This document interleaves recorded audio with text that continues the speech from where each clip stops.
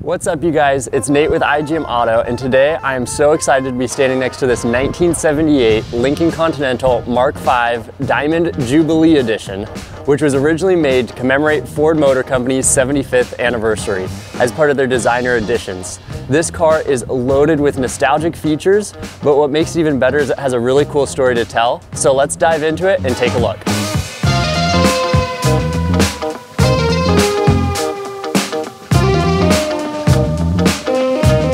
First thing you'll notice on this car is the color.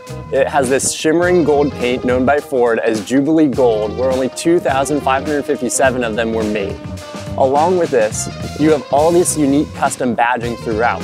The front hood emblem with the Lincoln logo has actual gold inside of it. You have embossed Lincoln logos on the headlights. You have Diamond Jubilee Edition badging on the Opera windows in the back and tons of different unique two-tone pinstriping across that really ties this car together and gives it that unique nostalgic feel to it. Now, let's talk about the powertrain. Back in 78, Lincoln had two options available for this model. One was a 6.6 liter V8 and the other was a 7.5 liter V8, which is what this car has. Now, what's unique about this car is outside of the battery, it's really all original straight from the factory. Along with this, it's paired with a three-speed automatic transmission that ultimately puts out 210 horsepower with 357 pound-feet of torque. While that may not seem like a lot, it actually ties together perfectly to make this a great cruising vehicle.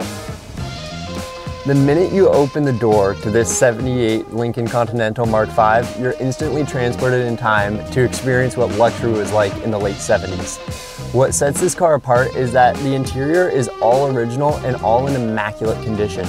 Along with all these plush, luxurious comforts, the car really is not lacking when it comes to amenities that you'd find in modern day cars. There's air conditioning, power mirrors, and heated side view mirrors, so if you're out in the cold, they'll defrost for you. There's cruise control, a CB radio, and a push button FM AM radio, a quadrasonic cassette tape player, power seats, that both tilt and slide, and of course, a Cartier clock to match the Diamond Jubilee Edition, and a CB radio.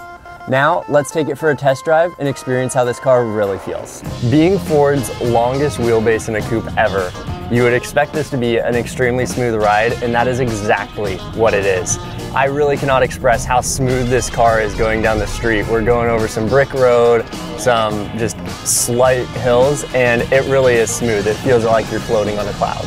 Compared to other maybe sportier coupes made in the 70s, this car does lack a bit on power, but it makes up for it in luxury, comfort, it's quiet, it's smooth, and it's, it's honestly just super fun to drive just as it is um, you totally feel the luxury that comes off of it and it's kind of fun to put yourself in the shoes of what somebody would be driving home from the dealership with this when they first got it.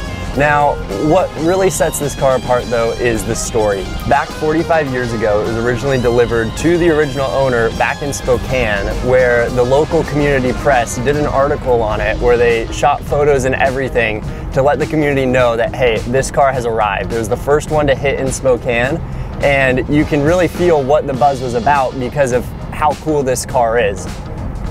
While this car was originally delivered 45 years ago, it has only had three owners over its lifetime, with the original owner holding on to it for over 40 years.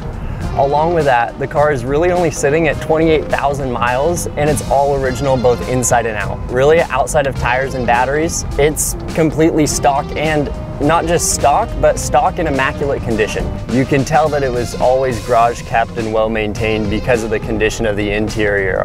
Normally, we see a lot of, you know, sun stain and just dust and wear and tear on old cars back from the 70s. But all the wood grain on this, all the leather wrapped dashboard and seats, they're all in truly immaculate condition. The buttons, the finishes on the turn signals. Nothing's worn out. It's all extremely well kept and really just adds to that feel as you're driving down the road and helps, I mean, I guess justify why everybody's looking at you everywhere you go. Thank you guys for following along today. And I know you're all probably wondering, where can I get one of these? How much will it cost me? And how soon can I get my hands on it? This 78 is actually for sale as well, and you can find the link below in the description, so make sure to go check that out, and don't forget to like, comment, and subscribe.